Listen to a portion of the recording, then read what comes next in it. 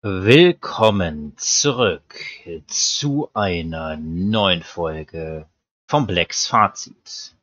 Das ist für heute die erste Folge. Später kommt noch ein neues Projekt.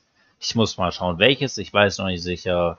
Und natürlich Let's Play Sanitarium. Das Let's Rank werde ich heute ausfallen lassen, denn es gab keine Kommentare zu dem Thema. Gestern bei dem Spiel, was wir jetzt hier gleich behandeln, äh, habe ich ja dazu was gesagt. Aber da eben ein Black Transit schon länger nicht mehr kam, lasse ich Let's Rank heute ausfallen, auch im Grund der Tatsache, äh, dass es jetzt schon relativ spät am Abend ist. Und ja, ich hätte natürlich die drei Folgen gerne aufgenommen und online gestellt vor Mitternacht, wie ich es euch versprochen habe. Ich hoffe, ich schaffe das auch, aber ja, das ist auch ein Grund, warum heute ich kein Let's Rank mache. Aber nächste Woche, denke ich, kommt wieder eins. Ja, heute bei äh, Blacks Fazit geht es um das Spiel Sherlock Holmes Crimes and Punishments. Das Spiel haben wir gestern beendet. Wie immer habe ich drei positive und drei negative äh, Sachen in Story, Gameplay, Grafik und sonstiges gepackt. Beim sonstigen natürlich nur drei neutrale. Wie immer Spoiler-Alarm. Wie immer nur meine Meinung. Kommentare jeder Art natürlich auch gern gesehen.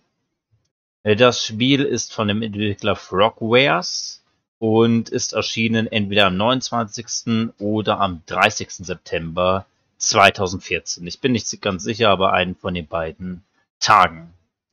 Ja, es ist ein, äh, ich würde sagen, äh, Adventure. Man schlüpft in die Rolle des bereits im Titel benannten Sherlock Holmes, dem Meisterdetektiv, und löst insgesamt sechs verschiedene Fälle, meistens mit, äh, mit dem besten Freund Dr. John Watson zusammen. Ähm, und genau, die sind äh, lose miteinander verknüpft. Eigentlich sind sie nicht wirklich miteinander verknüpft, darauf komme ich später auch noch. Aber ja, es sind halt wie gesagt sechs Fälle und man kann dann entscheiden, wie man ermittelt und so weiter. Aber dazu kommen wir gleich. Fangen wir bei der Story an. Was finde ich gut? Nun, das erste, was ich gut finde, ist, dass die sechs Fälle alle abwechslungsreich sind. Da gibt es keinen Fall, der, zumindest meiner Meinung nach, gibt es da keinen Fall, der langweilig ist. Und äh, sie unterscheiden sich auch sehr stark. Im ersten Fall geht es darum, einen Mord an einem alten äh, Captain aufzuklären, der von einer Harpune durchbohrt wurde. Im zweiten äh, Fall ist ein Zug verschwunden der äh, anscheinend äh, einfach spurlos in Luft aufgelöst jemanden finden soll. Im dritten Fall ähm, gab es einen Mord in einen in Thermen. Im vierten Fall ist es eine, ja, ein Herrenhaus, Abbey Grange, ähm, wo eben der Vorwurf ist, dass eben der dortige ermordet wurde von einer bekannten Liebesbande. Ähm, Jetzt muss ich gerade überlegen. Im fünften Fall war man dann in den botanischen Gärten von Kew Gardens und im sechsten Fall bei den Schüssen bei Mondlicht, wo eben ein Doppelmord war auf offener Straße. Ja, es geht meistens um Mord tatsächlich, aber dennoch sind sie alle abwechslungsreich, denn die Orte, es sind auf jeden Fall sehr verschieden, darauf komme ich später nochmal. Und ähm, ja, man äh, zumindest ich hatte beim Spiel nie das Gefühl, mich zu langweilen bei den Fällen oder nach dem Motto, ja, das habe ich jetzt schon fünfmal gesehen, ähm, sondern ich fand die Fälle alle sehr cool, muss ich echt sagen. Das zweite, was ich bei der Story gut finde, ist, dass man nicht nur Sherlock spielt. Es ist zwar selten, dass man in andere Rollen schlüpft, aber manchmal muss man es. Ähm, Watson zum Beispiel spielt man ein paar Mal, und zweimal auch den Toby. Das ist der Hund von Sherlock Holmes, denn zweimal muss der eine Spur verfolgen. Ähm, das finde ich halt ziemlich cool. Klar ist Sherlock die Hauptfigur, aber er ist halt nicht der einzige. Und ähm, das hat einfach was. Ich hoffe, ihr hört mich jetzt gut, denn draußen ist ziemlicher Hagel gerade. Ähm, ja, tut mir leid, wenn er mich ein bisschen ablenkt. Ich hoffe, ihr hört mich gut. Das dritte, was ich bei der Story gut finde, ist, dass die Charaktere gut beschrieben werden. Also sowohl Sherlock als auch Watson, als auch Charaktere, die äh, dann und wann zum Beispiel vorkommen. Da ist zum Beispiel Sherlocks Bruder Mycroft zu nennen oder Inspector Lestrade äh, ist da durchaus immer mal wieder da. Dann gibt es noch den guten Wiggins, den Anführer der Spezialeinheit, äh, ein Straßenkind, was einem sehr oft hilft und wo im letzten Fall zum Beispiel man auch ihm hilft. Und es gibt natürlich die äh, jeweiligen in den Fällen, ähm, die auch recht gut beschrieben werden. Also halt die, äh, die Verdächtigen zum Beispiel, manche Zeugen, sowas. Bei der Story nicht so gut finde ich, dass Nebenfiguren teilweise zu unwichtig sind. Ähm, ich habe gerade eben gesagt, die Charaktere werden gut beschrieben und das ist auch so. Äh, das Problem ist, dass es manche Nebenfiguren gibt, die tauchen nur ganz kurz auf und ähm, ja, sind fast egal. Sagen wir es mal so. Boah, Alter, im Moment ist es echt recht stark, äh, der Hagel. Ja, wartet mal kurz, bitte. Ich mach kurz die Fenster zu. Das ist mir im Moment zu unsicher. Sorry, Freunde, aber ich bin gleich zurück. Einen Moment.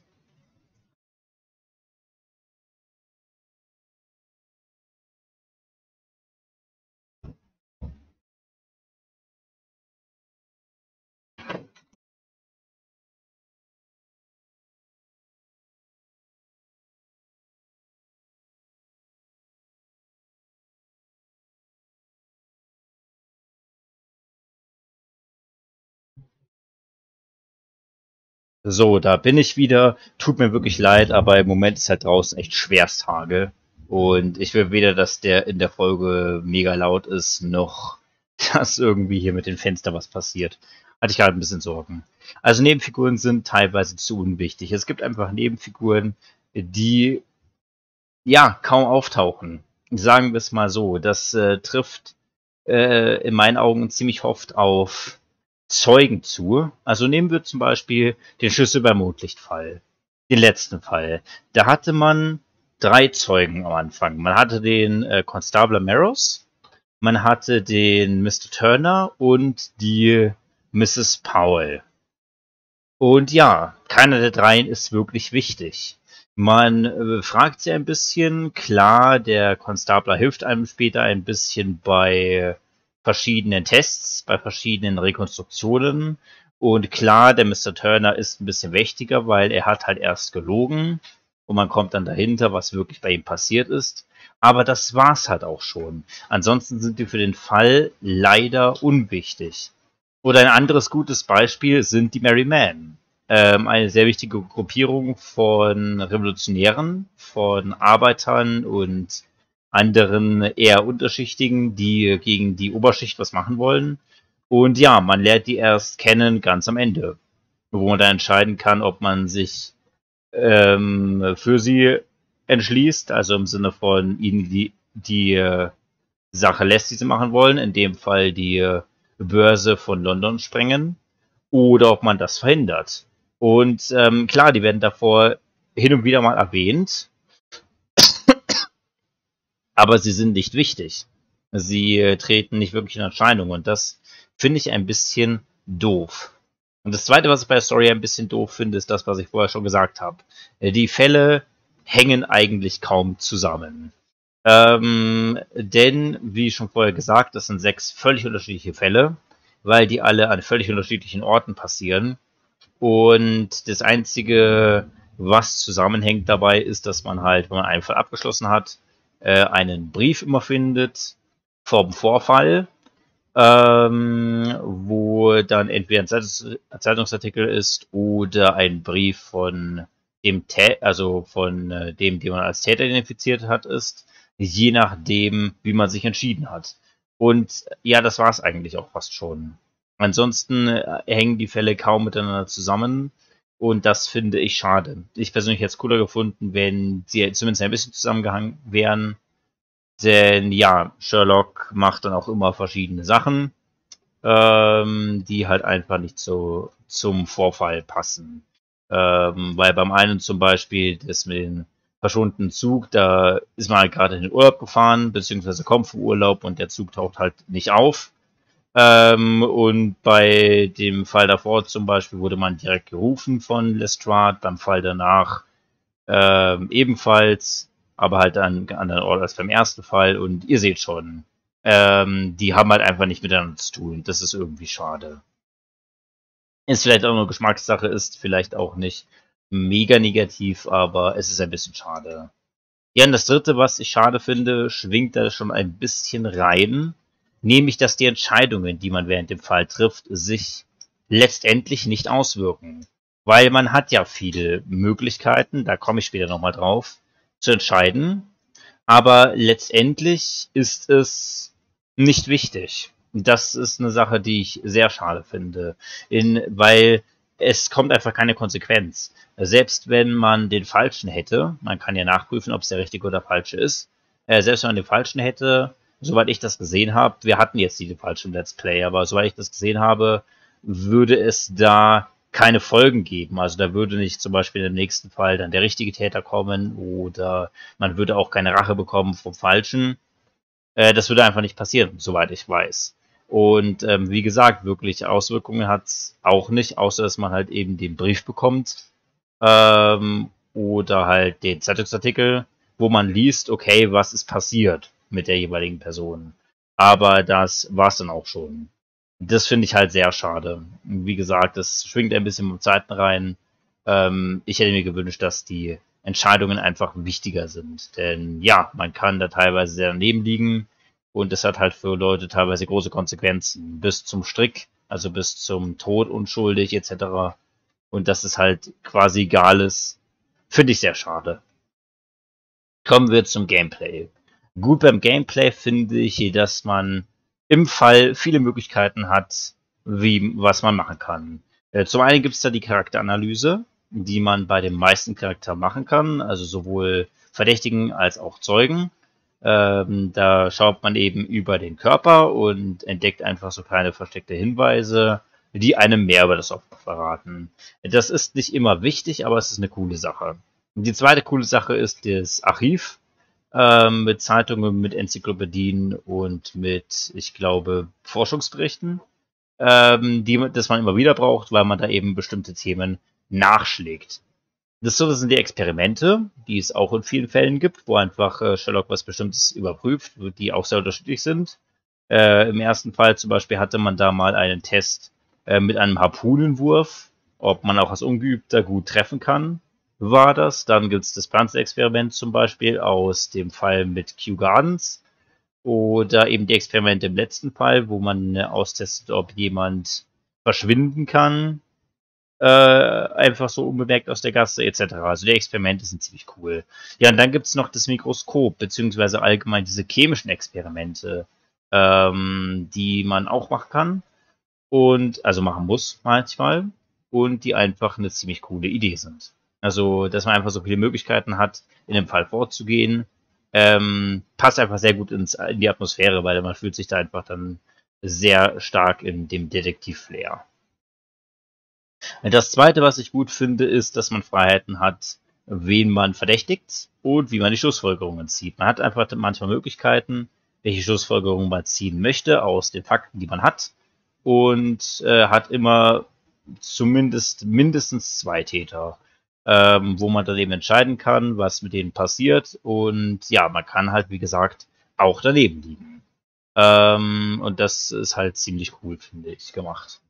Und das dritte, was ich gut finde, sind die unterschiedlichen Rätseleinlagen. Ja, einige werden sich wundern, die dieses Format schon länger verfolgen, denn ich bin eigentlich kein Rätselfan.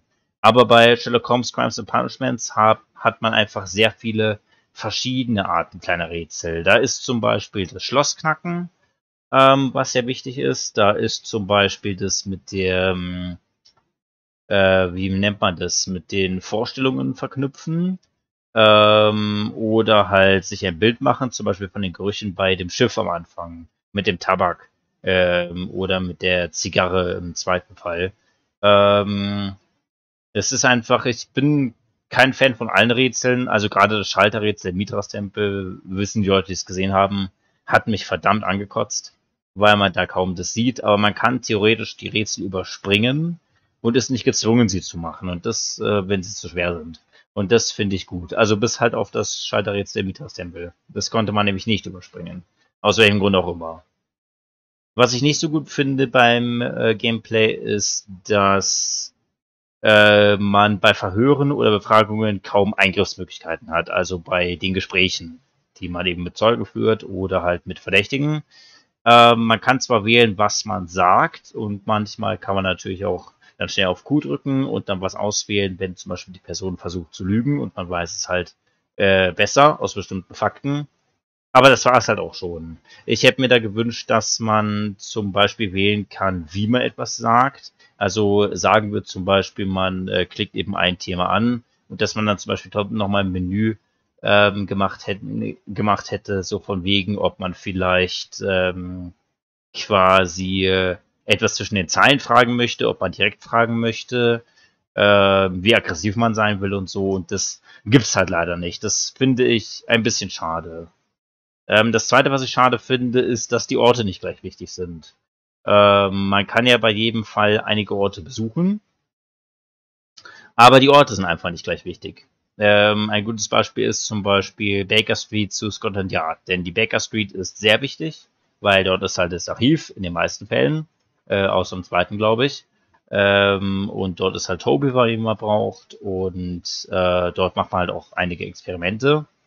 Und da gibt es Scotland Yard. Was eigentlich auch wichtig ist. Das Problem ist nur, Scotland Yard braucht man, also ich hatte manchmal das Gefühl, äh, dass man das kaum braucht. Denn was war da groß? Ähm, da war einmal die Autopsie einer Leiche, also genau genommen zweimal. Ähm, aber beide Male mit Spuren, die man auch theoretisch bei sich hätte machen können.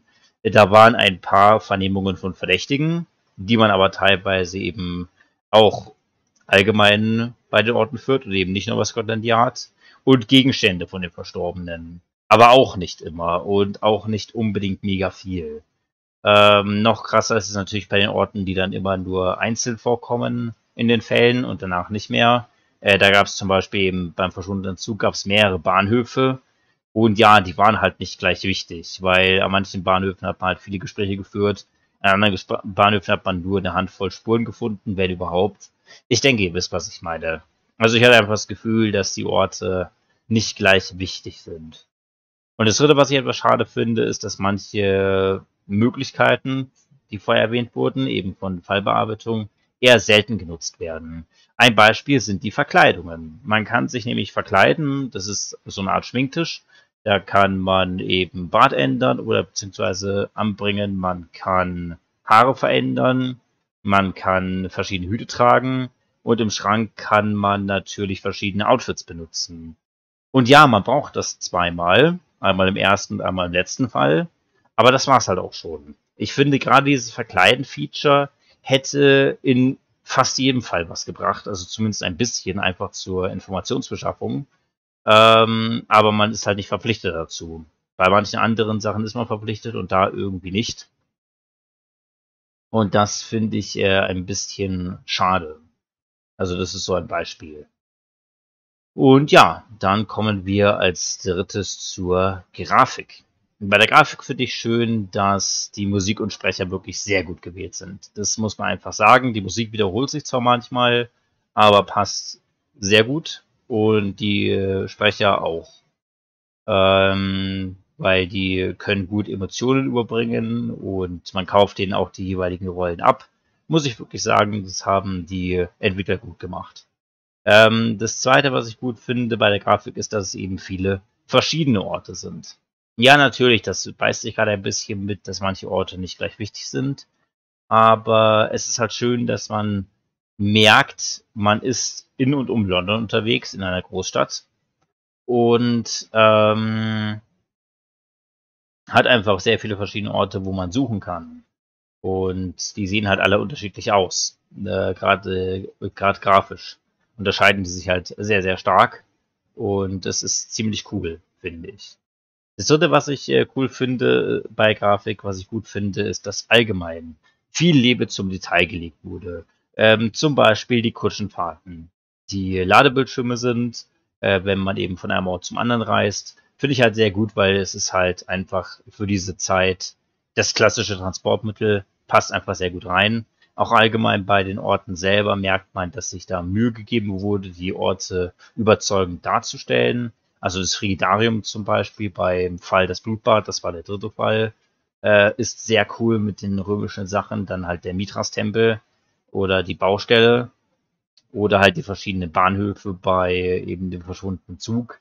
Also man merkt schon, die Entwickler haben sich da Mühe gegeben, dass äh, man eben auch im Detail merkt, dass man eben, ja, dort im viktorianischen London ist und äh, dass sich die Orte einfach alle sehr gut einfügen. Wie gesagt, macht viel zur Atmosphäre. Nicht so gut bei der Grafik finde ich unsichtbare Wände. Unsichtbare Wände fallen leider bei der Grafik oft auf. Ein gutes Beispiel dafür ist, wenn man wohin gereist ist mit der Kutsche. Ich meine der mit jetzt keinen Hauptort, sondern Nebenort. Also zum Beispiel, nehmen wir beim Beispiel der verschwundenen Züge den See oder die Mine. Ähm, und das Problem ist einfach, wenn man dann mal in die falsche Richtung kommt, dann ploppt automatisch die Karte auf. Sherlock dreht sich um und ähm, man steht wieder am Anfang. Und das ist halt teilweise echt unschön. Das sieht teilweise einfach unschön aus. Ich hätte es cool gefunden, wenn man da schon hätte erkunden können und dann halt nichts gefunden hätte. Aber dieses automatisch Umdrehen und Karte öffnen, dieses Abrupte einfach, wirkt einfach in meinen Augen sehr unschön. Äh, das merkt man auch sehr schön beim letzten Fall, wo man dann, wie gesagt, in London unterwegs ist, weil da eben auf einer Straße der Mord passiert ist. Und man kann an manche Orte einfach nicht hin. Weil, ja, wie gesagt, Sherlock dreht sich dann automatisch um und öffnet die Karte. Das ist, ich weiß nicht, das ist ein bisschen strange. Und äh, unsichtbare Wände mag natürlich auch nicht je, mögen halt auch Spieler allgemein nicht so. Das zweite, was ich bei der Grafik ein bisschen schlecht finde, sind, dass die Beweise im Auftragsbuch teilweise, sagen wir mal, sehr kurz beschrieben sind. Also man hat ja eben sein Auftragsbuch, da hat man einmal die Aufträge drin, man hat die bisherigen Gespräche drin, man hat äh, die Karte eben drin mit den verschiedenen Orten. Dann hat man drin die Souvenirs, die man bisher von Felden gesammelt hat und äh, die Echos, das sind eben die Briefe von den vorherigen Fällen, also die Reaktion quasi und eben auch die Beweise, wo man eben verschiedene Beweise sammelt. Das Problem ist, dass die Beschreibung manchmal arg kurz ist. Äh, zum Beispiel bei der vorletzten Folge, wo wir in dem äh, Herrenhaus waren und die Fallen vorbereitet haben und dann eben zum Beispiel das Seil genommen haben oder die Perlenhalskette, da steht halt dann nicht viel dabei.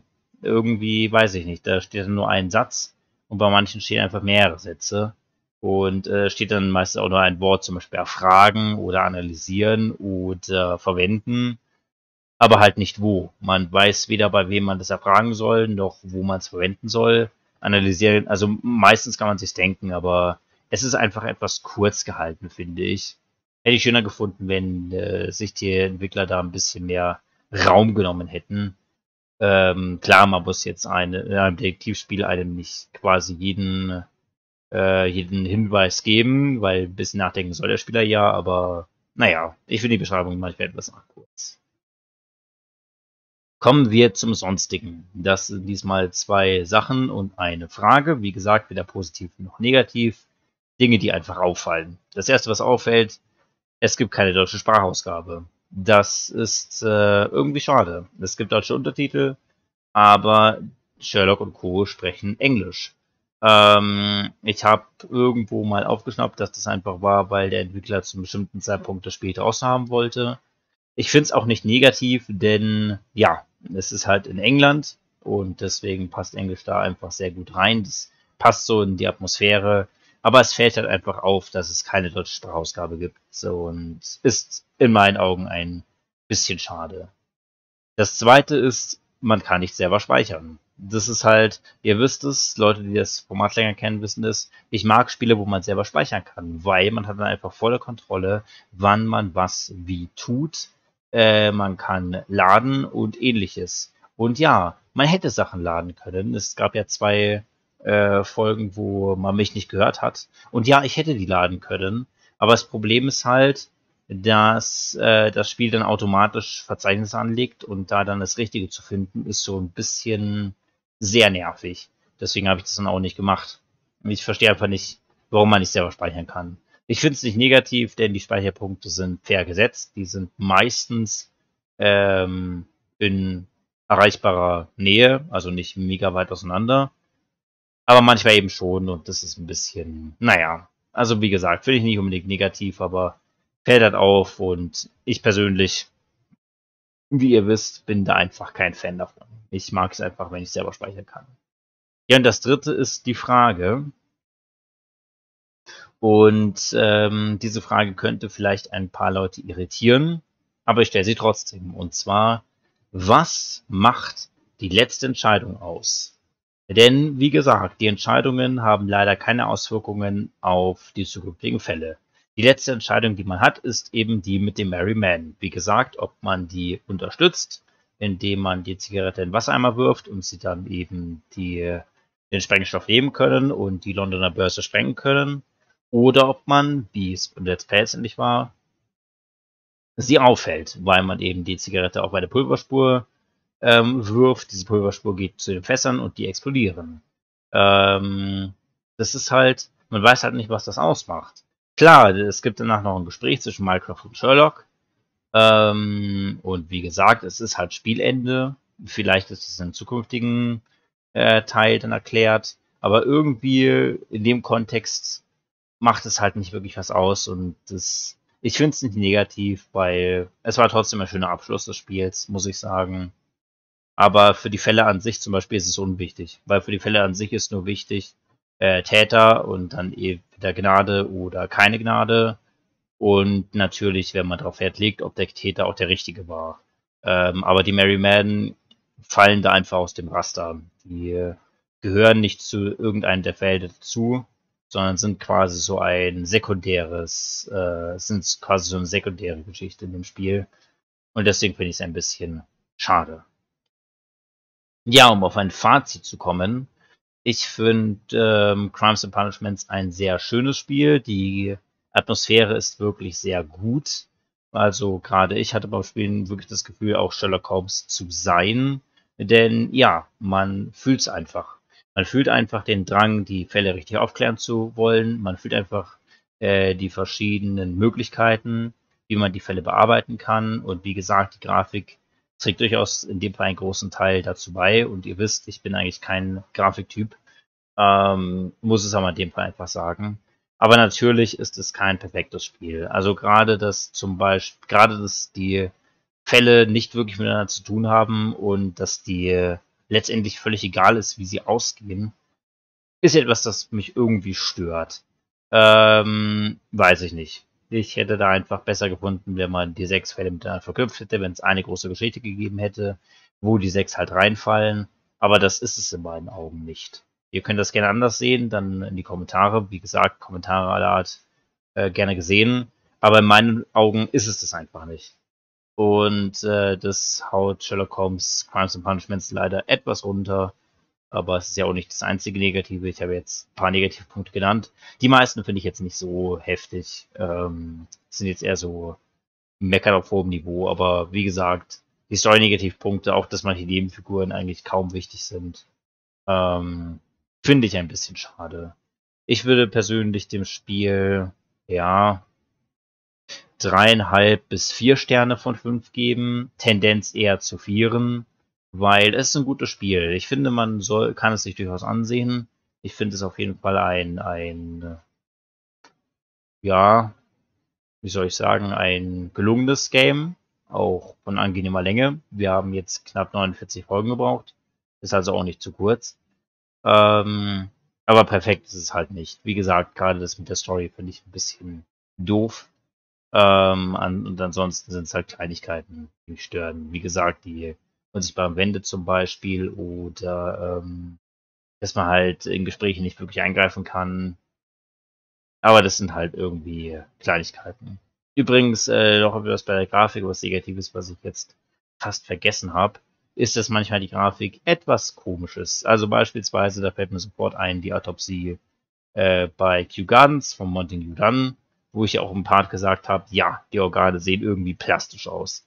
Ähm, das fällt mir gerade spontan ein, aber ich glaube, es gibt so ein paar Fälle, wo die Grafik irgendwie etwas seltsam ist. Ich meine, ja, ich habe natürlich auch niedrigste Grafik gespielt, aber trotzdem Ähm, das war auch noch so ein Negativpunkt. Er ändert aber nichts an der letztendlichen Wertung. Also wie gesagt, dreieinhalb bis vier Sterne von fünf. Tendenz zu vier Sternen, also wirklich ein gutes Spiel. Kein perfektes Spiel, aber ich denke, spielen kann man es durchaus. Ja, das war's für diese Folge. Vielen Dank fürs Zuschauen, wie immer. Ich hoffe, dass es euch gefallen hat. Und wir sehen uns dann, wenn ihr möchtet, später zu den normalen Let's Play-Folgen wieder. Und ja, ich denke, nächste Woche kommt dann wieder ein Let's Rank. Kommt natürlich noch an, äh, wie lange die Spiele, die wir dann spielen, gehen. Aber vielleicht machen wir es dann auch äh, mit eben vier Folgen. Da könnt ihr auch mal, wenn ihr möchtet, in die Kommentare eure Meinung kundtun. Bis dann zum nächsten Folge, Freunde. Gehabt euch wohl.